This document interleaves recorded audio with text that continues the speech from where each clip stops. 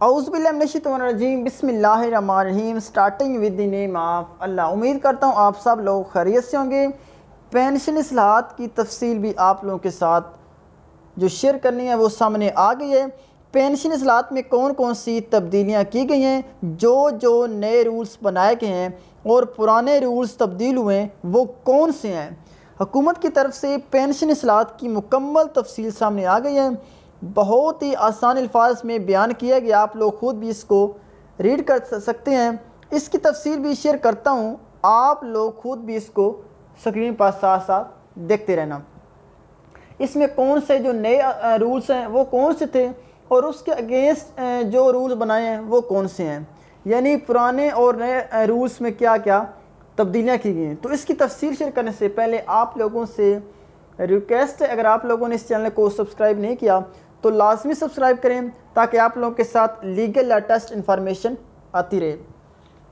तो आपका time waste के बगैर चलते हैं अपनी तफसीत की तरफ़। पेंशन असलात का बजट 2023 और 24 मुतद पेंशन का ख़ात्मा। पहला लफ्स ही अच्छा नहीं है।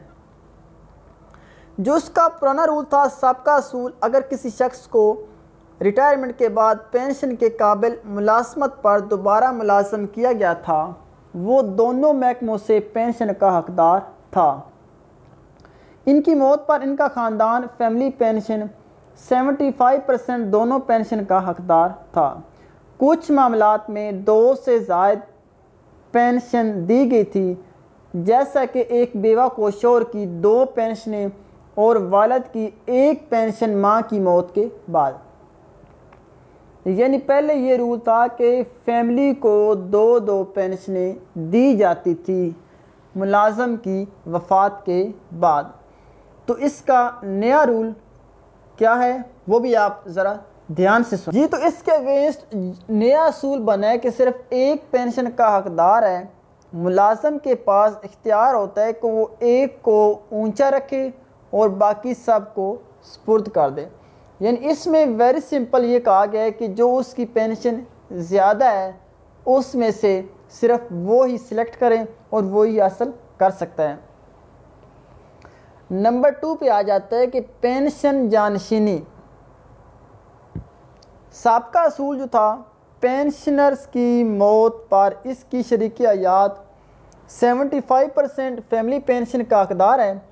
शरीक याद की मौत पर वही गैर शादीशुदा बेवा तलाक याफ्ता बेटी को ज़िंदगी दोबारा शादी के लिए मुंतकिल कर दिया जाता है।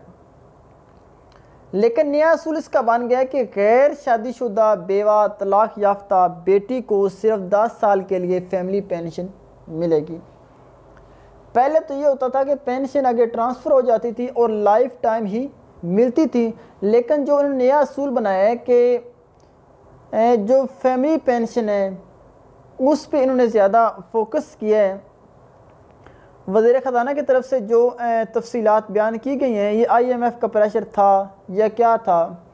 इन्होंने क्या नया, जो जाबर कानून बना दिया है कि नया असूल, कि इसमें जस्ट जो फैमिली पेंशन है, वो 10 साल तक आप लोग ले सकते हैं। वो भी जस्ट जो नए पेंशनर्स हैं, ये उनके लिए असूल है, पुराने के लिए लागू नहीं होगा। तो जी तो नेक्स्ट आ जाता है पेंशन में कोई पेचीदा इजाफा नहीं होगा। ये एक ऐसा उल्टा पुट क्वेश्चन आ गया है कि पेंशन में कोई पेचीदा इजाफा नहीं। इसमें जो इसका जो सबका सूल था, इसमें हर साल ड्राइंग पेंशन में इजाफे का ऐलान किया जाता था। पहले साल अगर पेंशन दस हज़ार है तो उसकी दस परसेंट इजाफा एक हज़ार उसके साथ और पेंशन, यानी ग्यारह हज़ार उसकी पेंशन टोटल हो जाती थी दस परसेंट उसके साथ इंक्रीमेंट लगने से। फिर अगले साल ग्यारह हज़ार पर दस परसेंट इजाफा, ग्यारह सौ का इजाफा और पेंशन उसकी बन जाती थी बारह हज़ार एक सौ हो जाएगी। लेकिन इसका जो नया असूल है, उसमें आप लोग ख़ुद इसकी तफसील देखें कि नया असूल कोई मरकब नहीं।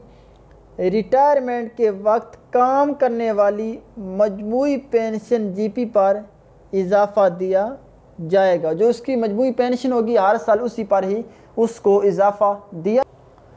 यानी वेरी सिंपल के उसकी जो मजमू पेंशन होगी, उस पे ही हर साल उसका इंक्रीमेंट लगता रहेगा। दस हज़ार है तो दस हज़ार पर ही हर साल लगता रहेगा, ग्यारह हज़ार पर नहीं लगेगा, बारह हज़ार एक सौ पर नहीं लगेगा, यानी ग्यारह हज़ार पर ही उसका इजाफा लगता रहेगा।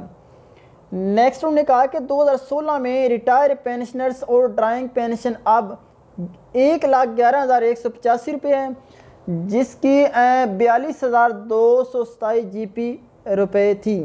तकरीबन तीन बटा एक इजाफा जी पी पर होगा। जी तो नेक्स्ट आ जाता है नंबर फोर पे कंट्रीब्यूटरी पेंशन ये एक नया रूल है जो नए पेंशनर्स पर होगा, जो लोग नए भर्ती होंगे बल्कि उन पे होगा, नए पेंशनर्स पर, जो नए जिनकी अपॉइंटमेंट होगी, ये उन पे लागू होगा जो आरडी पेंशन ले रहे हैं या जो आरडी मुलाजमत इख्तियार कर चुके हैं, उन पर यह कानून लागू नहीं हो सकता क्योंकि इसका रूल ही कुछ नया है। सबका असूल था कि तमाम अखराज हुकूमत बर्दाश्त करती, कर रही थी कि जो उसकी रिटायरमेंट के थे। नया असूल सर्वस के दौरान पेंशन देने के लिए तनख्वाह से कटौती की जाएगी। लो जी, इसमें यह कहा गया कि आपकी सैलरी में से ही कटौती करके रखी जाएगी जो रिटायरमेंट रिटायरमेंट के वक्त आपको तोहफ़ा दिया जाएगा रिटायरमेंट में। लेकिन इसमें ये कहा गया कि जो टेन परसेंट है वो एम्प्लॉय जो मुलाजिम है वो देगा और जो बारह परसेंट है मंथली वो आ, क्या कहते हैं हुकूमत देगी गवर्नमेंट देगी जिससे वो अपना किसी कंपनी में लगा के किसी इन्वेस्टमेंट में लगा के बिज़नेस करेंगे उनसे फिर प्रॉफिट होगा फिर वो प्रॉफिट एम्प्लॉय को दिया जाएगा। ये आप पहले भी एडवांस भी ले सकते हैं लेकिन बाद में रिटायरमेंट वक्त भी ले सकते हैं। ज़ाहरी बात रिटायरमेंट जब आप रिटायर होंगे, उस वक्त वो लाजमी आपको दिया जाएगा। जी तो नेक्स्ट आ जाता है, या तो तनख्वाह या फिर पेंशन सबका असूल था कि दोबारा मुलाजमत करने वाले सरकारी मुलाजम को मुलाजमत की तनख्वाह और पिछली पेंशन की और पिछली मुलाजमत की पेंशन दोनों मिल रही थी। यानी एक बंदा रिटायर हुआ है, उसको पेंशन मिल रही है, उसने दोबारा कोई जॉब इख्तियार किया तो उसको दोबारा उसकी वो सैलरी भी मिल रही है। लेकिन अब इसने एक नया, एक कानून जो बनाया है, उसमें क्या लिखा है? उसका जो नया रूल है, नया असूल है, या तो नई नौकरी से तनख्वाह लें, या पेंशन लें। यानी आप लोग या फिर जो आप पेंशन ऑलरेडी ले रहे हैं, वो लें और नौकरी जो फ्री ऑफ़ कॉस्ट करें। आप लोग जो या फिर नई जॉब इख्तियार करें, या फिर वो सैलरी लें, आपकी पेंशन बंद हो जाएगी। एक चीज़ आपको मिलेगी। ज़्यादातर मसल फ़ाज के अलकार मुतासर होते हैं, जो कम उम्री में रिटायर हो जाते हैं। हाँ जो जल्दी रिटायर हो जाते हैं, फिर वो नौकरी ना करें नए उनका ये असूल, का मकसद तो यही बनता है। तो नेक्स्ट का आगे रिटायरमेंट के बाद कारोबार के लिए जाएँ, नौकरी के लिए नहीं। उन्हें आपको इसमें मशवरा दिया है नए असूल में, कि आप लोग जो हैं, नौकरी ना करें, मुलाजमत इख्तियार ना करें जस्ट आप लोग अपना कोई बिज़नेस ही करें। तो उम्मीद करता हूँ आज की इन्फॉर्मेशन आप लोगों को अच्छी लगी होगी।